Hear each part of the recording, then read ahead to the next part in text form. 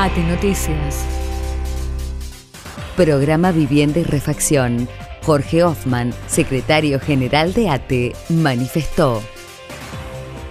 De alguna manera dándole continuidad al programa que habíamos hecho eh, con Procrear, donde fueron sorteados 440 compañeros en toda la provincia.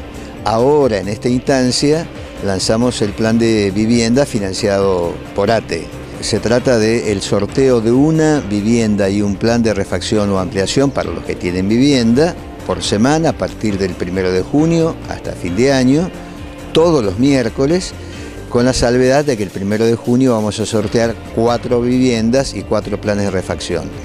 Tienen posibilidad de participar todos los trabajadores comprendidos bajo la ley 10.052 de paritaria, porque son fondos provenientes precisamente del Fondo de Vivienda que tiene su origen en la paritaria. En los lugares donde tengamos terrenos, en el caso de la zona de Rosario, zona cercana de Ibarlucea, Villa Gobernador Galvez, en Santo Tomé, en Santa Fe, en Rincón y en Rafaela, las casas se harían en esos terrenos. En los lugares donde no tengamos terrenos, incluye el programa la compra del terreno y la construcción de la vivienda, de manera tal de que todos los afiliados estén en las mismas condiciones para poder participar. La inscripción se lanza en el día de hoy jueves y va a estar abierta de manera permanente. En cualquier momento los afiliados se van a poder inscribir.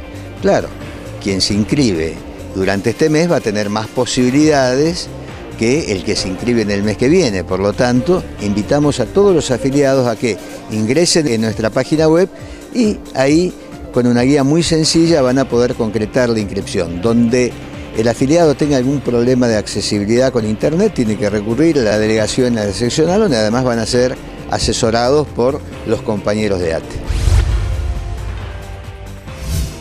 Nueva reunión de choferes en una nutrida convocatoria de trabajadores del sector de toda la provincia en las cómodas instalaciones del nuevo Hotel Colonia de Vacaciones UNLAT, se llevó adelante un debate profundo sobre paritarias y un nuevo agrupamiento, temas que se vienen abordando en sucesivos encuentros.